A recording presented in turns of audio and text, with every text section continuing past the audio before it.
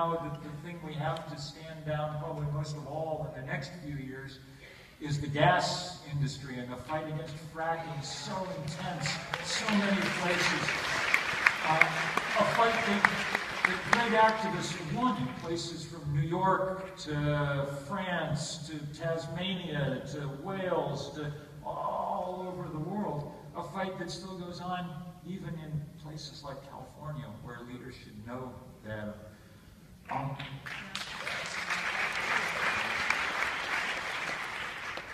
that fight, that movement, that kind of fossil fuel resistance is everywhere, just everywhere.